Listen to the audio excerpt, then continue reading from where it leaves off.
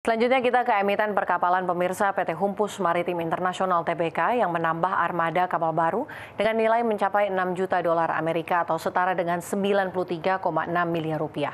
Manajemen perseroan mengatakan langkah pembelian armada baru ini merupakan salah satu bentuk strategi ekspansi Humi dalam memenuhi kebutuhan metanol yang terus meningkat.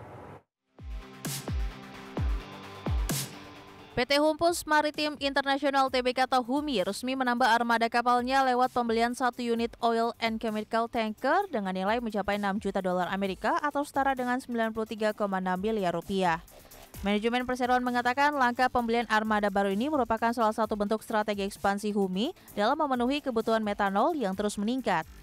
Peningkatan permintaan terhadap metanol sendiri merupakan dampak dari diperlakukannya peraturan pemerintah nomor 33 tahun 2023 terkait konservasi energi. Adapun keberadaan armada baru ini akan ditempatkan sebagai aset dari salah satu anak usaha Humi yaitu PT PCS Internasional atau PCSI. Dengan menambah ini, maka PCSI sejauh ini tercatat telah memiliki 6 unit kapal chemical yang diyakini bakal mampu mendukung pertumbuhan bisnis perusahaan secara lebih maksimal. Selain itu, dengan adanya penambahan kapal ini akan menjadi katalis positif untuk pertumbuhan bisnis Humi yang berkesinambungan terutama dalam lini bisnis oil and chemical.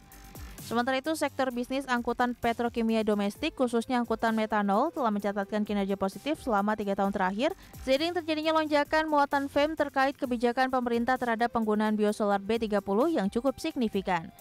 Dengan segala proyeksi optimistis tersebut, Humi tak ragu untuk meyakini bahwa target peningkatan laba bersih sebesar 20% menjadi 13,1 juta US dollar hingga akhir tahun bakal terrealisasi dengan baik.